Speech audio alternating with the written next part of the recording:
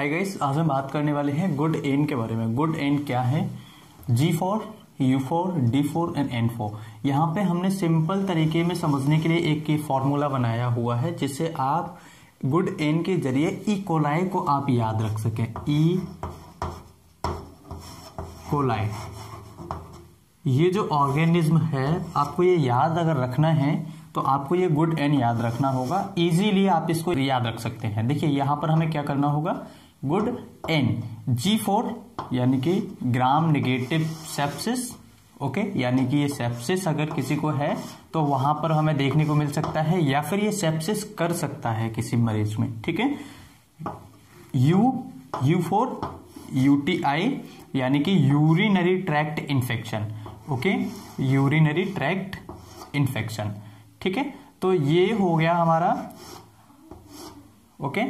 ये हमारा जो किडनी, यानी यूरिनरी ट्रैक्ट इन्फेक्शन और आगे चलते हैं डी डी फोर डायरिया यानी कि आपकी जो इंटेस्टाइन है, आपकी जो इंटेस्टाइन है, आपकी जो इंटेस्टाइन है, ठीक है? अब डायरिया इसके बाद में एन फोर न्यूनेटल मेनिनजाइटिस ठीक है?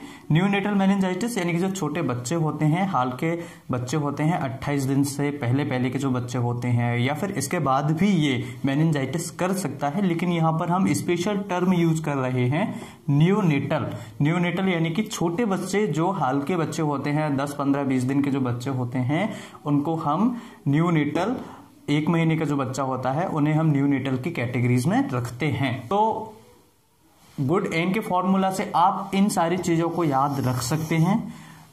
याद रखने के लिए आ, या तो आप ये याद रखें कि डायरिया में इकोलाई मिल सकता है न्यूनेटल मेनिनजाइटिस किसी मरीज़ को है तो इकोलाई मिल सकता है यूटीआई किसी मरीज़ को है यूरिनरी ट्रैक्ट इन्फेक्शन अगर किसी मरीज़ को है तो यहाँ पर भी आपको इकोलाई मिल सकता है। ग्राम निगेटिव सेप्सिस अगर किसी मरीज़ को सेप्सिस है तो वहाँ पर भी आपको इकोलाई मिल सकता है।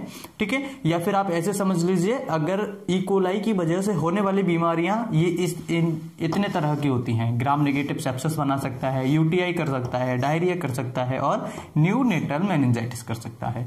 सो आई होप ये वीडियो आपको समझ में आएगा और इस गुड एन को समझने के लिए ये फॉर्मूला मेरे हिसाब से आपके लिए सुटेबल होगा। मैं फिर मिलता हूँ इसी तरह के किसी नए टॉपिक में तब तक के लिए बाबा take care thank you for watching